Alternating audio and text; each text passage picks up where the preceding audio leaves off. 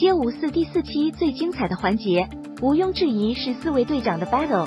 每位队长都拿出了自己的看家本领，比如张艺兴的高难度连续降息，王一博的身体控制力，韩庚的高燃卡点，刘宪华的独特哑剧，整场 battle 下来看点十足。队长们综合实力都难分伯仲。不过既然是比赛，难免就有输赢，最终还是王一博队长取得了这场 battle 的胜利。首先要说的就是王一博铁憨憨行为，每次 DJ 老师放出这些主题曲。王一博都会带头领唱，这就是街舞，为自己而舞，语气还十分欢快洒脱，感觉是跟朋友去 KTV 嗨歌一样，一点都不把其他队长当外人。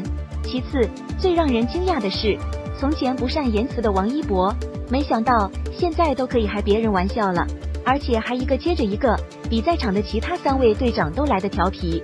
当布布前女友 Niki 出场时，王一博立马露出吃瓜表情。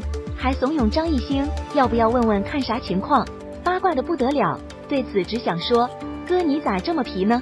王一博绝对街舞第一人，在 call out 的环节，为了给布布报仇，当卡卡一跳完自己的舞蹈，王一博就故意用反话评价卡卡不咋地，还特地模仿卡卡的东北口音，简直不要太逗了。综上所言，可见王一博本质并非是高冷的人，只是没有在合适的场合遇见对的人罢了。倘若一旦任督二脉被打开，那绝对也是个不受控制的疯子，妥妥的气氛组担当。